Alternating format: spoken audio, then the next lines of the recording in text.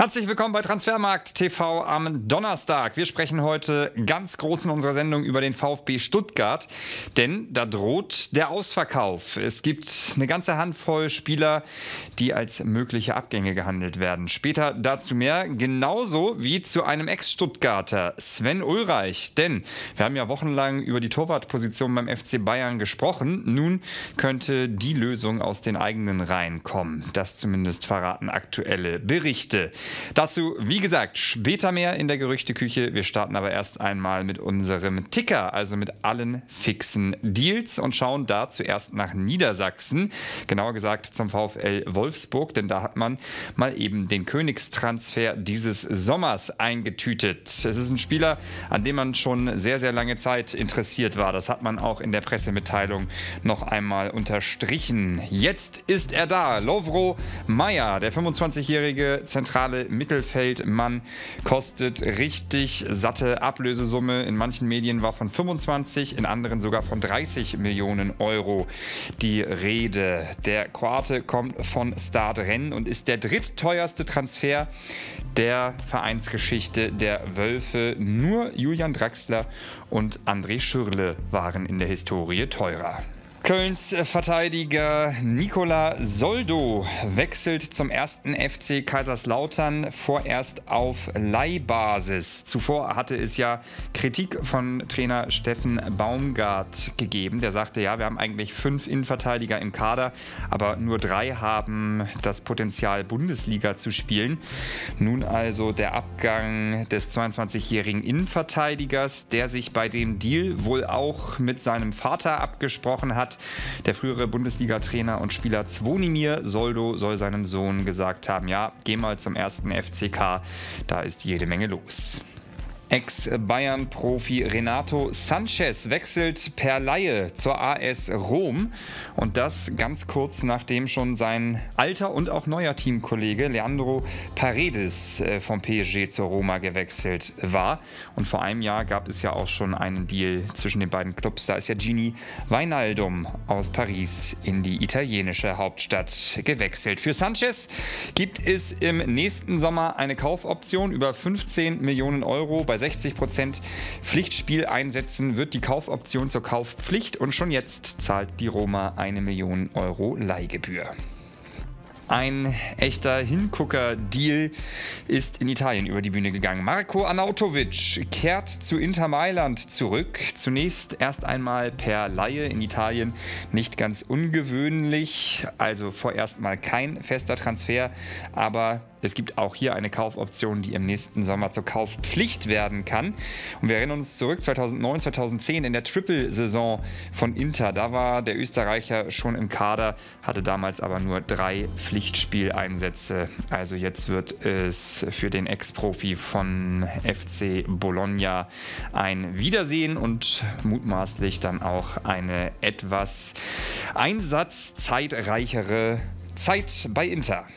Und wir bleiben thematisch in Italien und schauen auf Champions League-Teilnehmer Lazio Rom. Dort forciert man ja einen Transfer-Doppelpack von Juventus Turin. Also man möchte gleich zwei Spieler der alten Dame verpflichten. Einer, der ist noch ein bisschen am Hängen, der ist noch nicht als äh, fix zu verzeichnen, aber dafür kommt dieser junge Mann. Es handelt sich um Nicolo Rovella, der 21-jährige Mittelfeld- Spieler wird erst einmal für zwei Jahre ausgeliehen, dann greift eine Kaufpflicht in Höhe von 17 Millionen Euro und laut Gianluca Di Marzio soll ganz zeitnah auch Luca Pellegrini von Juve kommen. Der Außenverteidiger ist ja auch in der Bundesliga kein Unbekannter, spielte bei Eintracht Frankfurt in der Vorsaison. Ja, und sehr, sehr viel passiert in der Serie A. Unter anderem geht auch Charles de Ketteler von Milan zu Atalanta Bergamo. Der 22-jährige offensive Mittelfeldmann wird geliehen. 3 Millionen Euro Leihgebühr und im nächsten Sommer gibt es auch hier eine Kaufoption. Die soll bei 22 Millionen Euro liegen. Immer wieder wurde verschiedenen Bundesliga-Clubs Interesse an Chuba Akpom nachgesagt. Nun geht der aber zu Ajax Amsterdam. Der 27-jährige Mittelstürmer ist der zweitteuerste Ajax-Transfer dieses Sommers. Knapp über 12 Millionen Euro liegt die Basisablöse. In der vorigen Saison war er ja Championship-Torschützenkönig mit 28 Toren in 38 Spielen. Der FC Basel leiht das Talent Yusuf Demir von Galatasaray. Der Club des deutschen Trainers Timo Schulz soll auch eine Kaufoption für den Österreicher haben. Der mittlerweile 20-jährige Offensivmann Demir war ja auch zeitweise beim FC Barcelona und galt als wirklich sehr, sehr großes Talent. Mal schauen, wie er sich in Basel entfaltet. Und noch eine schöne Meldung für alle Fußballromantiker. Santi Casola, mittlerweile 38 Jahre alt, kehrt zu seinem Jugendclub Real Oviedo zurück. Und das für einen Mindestlohn. Der beträgt in La Liga 2 in Spanien 77.500 Euro pro Saison. Und das war dem Spieler wohl ganz besonders wichtig. Das hat er nochmal doppelt und dreifach unterstrichen. Er ist also 20 Jahre nach seinem Abgang zurück an alter Wirkungsstätte. Zuletzt kickte er beim Al-Sad SC in Katar. Also wieder jede Menge los in der Welt der Transfers und gleich in unserer Gerüchteküche haben wir auch noch mal einen ganzen Schwung an Namen für euch. Wir ziehen so ungefähr zwei Wochen vor Ende des Transferfensters trotzdem noch mal eine kurze Zwischenbilanz. Wir wollen mal auf eine Top 11 schauen, die wir aus unserer Datenbank gefischt haben. Die teuersten Transfers dieses Sommers bis heute werden mutmaßlich ja noch ein paar hinzukommen zu dieser Elf. Die hat es jetzt aber schon stark in sich. André Onana ist der teuerste Torwart des Sommers und in der Verteidigung dann dreimal Bundesliga-Bezug. Ein Zugang mit Min Jae Kim und Guardiol und Hernandez haben die Bundesliga verlassen. Die Premier League insgesamt schon sehr dominant bei dieser Elf. Caicedo und Declan Rice, beides dreistellige Millionensummen. Davor Bellingham, Neymar Neymar und Harvards und ganz vorne dann äh, Rasmus Heulund von Manchester United hat sich ja direkt mal verletzt und Harry Kane, der bisher erste und einzige 100 Millionen Transfer des FC Bayern und der Bundesliga. Wir zählen also vier 100 Millionen Transfers allein in diesem Sommer und Neymar und Guardiol, die können ja angeblich auch noch auf diese Summe heranwachsen durch Bonuszahlungen, also ziemlich viel los auf dem Transfermarkt. Insgesamt 913,1 Millionen Euro die Ablösen, die für diese Elf gezahlt wurden. Und ihr könnt ja gerne mal in die Kommentare schreiben. Kommt noch jemand hinzu, der hier in diese Elf reinstößt? Wir sind sehr gespannt auf eure Meinung. Und das gilt natürlich auch für all unsere anderen Themen in dieser Sendung, vor allem für unsere Gerüchteküche. Und da widmen wir uns zunächst einmal einem Bundesliga-Club, der in der Vorsaison in der Relegation die Klasse halten konnte und jetzt aktuell so ein bisschen vor dem Wegweiserschild steht. Wo geht es hin für den VfB Stuttgart? Es droht eine echte Abgangswelle. Viele, viele Gerüchte über mögliche Spieler, die den Verein verlassen könnten, sind bei uns in der Gerüchteküche und wir wollen sie alle einmal ein bisschen aufrollen. Es geht unter anderem um diese beiden Verteidiger. Konstantinos Mavropanos, der wird nämlich mit West Ham United in Verbindung gebracht und bei Borna Sosa gibt es auch Interessenten. Aktuell ganz heiß den FC Sevilla. Schauen wir mal ein bisschen drauf. Bei Mavropanos, da scheint es wirklich relativ handfest zu werden. Übereinstimmenden Medienberichten zufolge ist äh, West Ham gewillt, eine ordentliche Ablösesumme zu zahlen. Der Kicker berichtet von 18 Millionen Euro plus. Und äh, beim VfB Stuttgart, da gilt wohl ein ganz besonderes Credo, das geht auch aus den Medien hervor. Wir müssen nicht verkaufen, aber bei ordentlichen Summen würden wir verkaufen. Gilt wohl für Mavropanos, genauso wie für Borna Sosa. Hier berichtet Fabrizio Romano, dass es fortgeschrittene Gespräche sogar schon mit dem FC Sevilla gebe, wo wohl Ersatz für Marcos Acuna gesucht wird, den argentinischen Weltmeister, der mit Aston Villa in Verbindung gebracht wird. Also eine kleine Transferkettenreaktion. Hier muss man noch mal abwarten, wie es mit den äh, Ablöse Forderung aussieht und ob man beim FC Sevilla und beim VfB Stuttgart dann übereinkommt. Ja, auch über einen möglichen Ersatz, zum Beispiel für Konstantinos Mavropanos, wird diskutiert. In der Transfermarkt-Gerüchteküche tauchte als Ergänzung für die Defensive der Name Bashir Humphreys auf. Der 20 Jahre alte Innenverteidiger kommt ja aus dem Nachwuchs des FC Chelsea und äh, war zuletzt an den SC Paderborn verliehen. Es könnte also vielleicht sogar per Leihbasis erneut nach Deutschland gehen.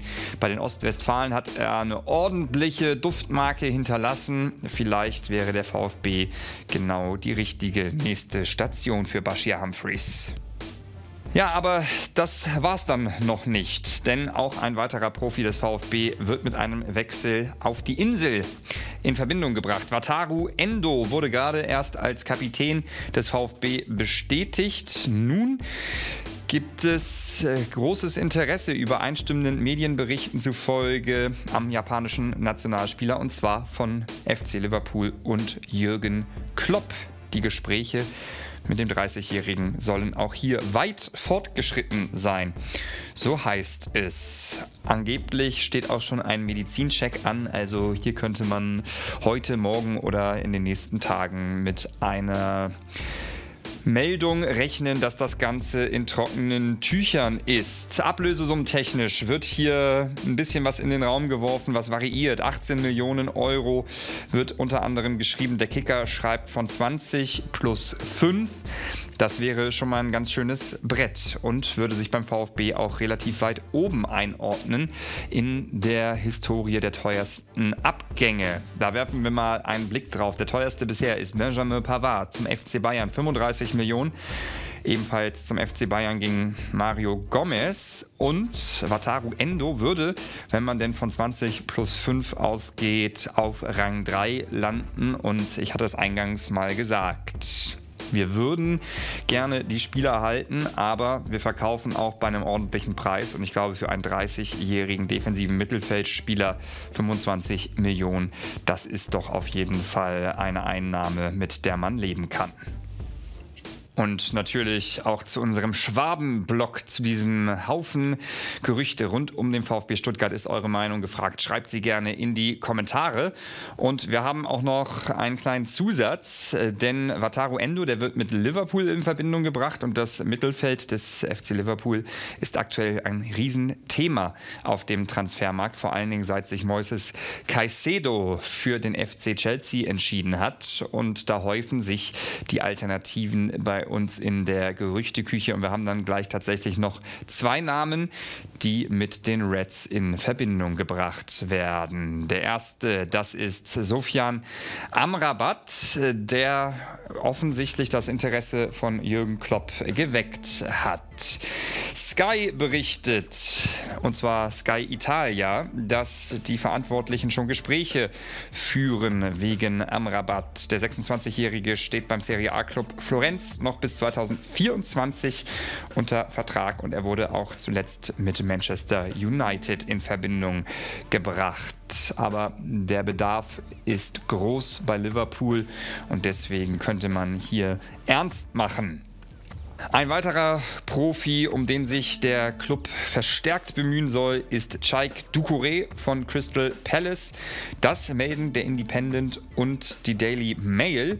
Der mögliche Preis variiert sehr stark in den Berichten zwischen 60 und 70 Millionen Pfund oder auch noch ein bisschen mehr wird dort geschrieben und Doucouré soll diesen Berichten zufolge auch als eine der realistischsten Optionen gelten auch weil er sich selber wohl einen Wechsel gut vorstellen kann. Übrigens werden auch noch weitere Kandidaten lose genannt, unter anderem Joao Palinha vom FC Fulham und Kefren Tyram von OGC Nizza.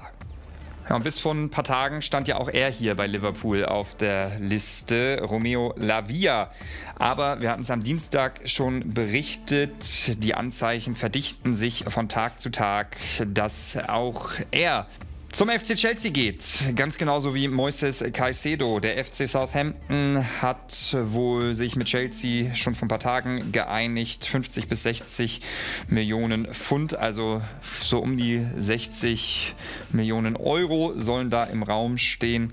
Lavia dürfte also in Kürze zum teuersten U20-Mittelfeldspieler der Welt aufsteigen. Und wie schon mehrfach jetzt in dieser Sendung angesprochen, Liverpool braucht dann andere andere kreative Lösungen fürs Mittelfeld. Bei Union Berlin, da ist ordentlich was los. Zehn feststehende Zugänge, weitere sind in der Pipeline. Da müssen natürlich auch Spieler abgegeben werden. Und da gibt es auch gleich ein Doppelgerücht. Die Eisernen verlassen könnten angesichts des Gedränges im Kader Aisa Laiduni und Jordan. Das berichtet die Bild. Der Mittelfeldspieler Laiduni, der soll in der Saudi Pro League heiß umworben sein. Der 26-Jährige wird angeblich von Al-Shabaab FC und Al-Ali umworben. Das soll das Blatt aus Frankreich erfahren haben. Laiduni soll nach der WM in Katar in der arabischen Fußballwelt einen guten Ruf genießen und er könnte nach einem halben Jahr bei Union schon wieder gehen. Mittelstürmer Jordan ließen sich die Unioner Verantwortlichen vor einem Jahr 6 Millionen Euro kosten. Der 27-jährige US-Amerikaner kam für diese Summe von den Young Boys Bern.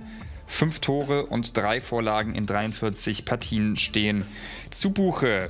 Wie zuerst die Rheinische Post und später auch der Berliner Kurier vermeldeten, ist Jordan jetzt offenbar auf dem Sprung zu Borussia Mönchengladbach. Höchstwahrscheinlich geht es vorerst um eine Laie und bei Gladbach würde er auf seinen Ex-Trainer aus IB-Zeiten treffen. Unter Gerardo Seoane hatte er 45 Mal gespielt und 15 Mal getroffen. Ein spannender Bericht der Bild. Und zwar soll sich die Torwartstrategie bei den Bayern einmal komplett geändert haben. Was haben wir berichtet in den vergangenen Wochen über große Namen, über sozusagen 1A-Lösungen im Tor? Also Profis, die erst Manuel Neuer ersetzen sollen und dann als Nummer 2 eingeplant werden. Jetzt könnte aber er hier, Sven Ulreich, die interne Lösung werden. Denn die Bild berichtet, dass sich der Sportausschuss der Münchner, die ja aktuell im Team die Transfers angehen, sich geeinigt hat. Es soll ein Ersatz für Sven Ulreich, also eine potenzielle Nummer 3, geholt werden. Bis Manuel Neuer wieder ganz fit ist, wird dann also auf Sven Ulreich vertraut. Demnach sind die Clubgranten aktuell mit den Leistungen der Nummer 2 zu 100% zufrieden und man vertraut Sven Ulreich. Wenn wir mal ehrlich sind, ist er ja auch eine der großen Konstanten im Kader des FC Bayern und eine sehr, sehr zuverlässige Nummer 2.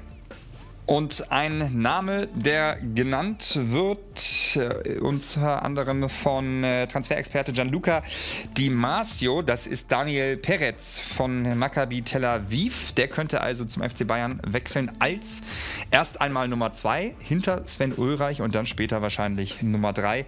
Der 23 Jahre alte Nationalspieler Israels hat einen deutschen Pass und er wäre angesichts seines 2024 auslaufenden Vertrages wohl im Quervergleich relativ günstig günstig zu bekommen.